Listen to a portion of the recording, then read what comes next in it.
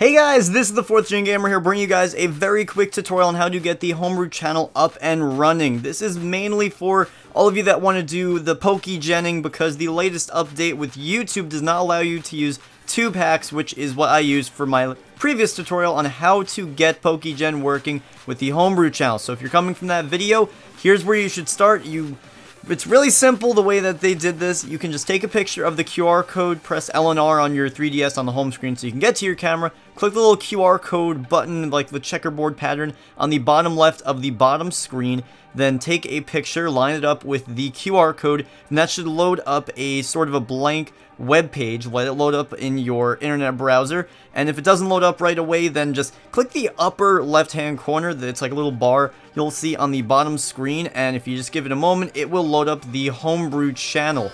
So that's pretty much that. If you're coming from that previous video on how to PokeGen, you can go through the rest of the video and use the same instructions, everything else applies, it's just how to get Homebrew channel. This has changed, and if you want to know how to get PokeGen, how to get that working, then the video is on the screen right now, you can click and you can get that video now that you have the Homebrew channel. Good luck, and if you have any questions, you can comment on this or the other video. There are a lot of people helping me out, and I'm going to try help you guys as well. Thanks for watching, guys. If you're new, hit the subscribe button, and I'll see you guys next time. Peace.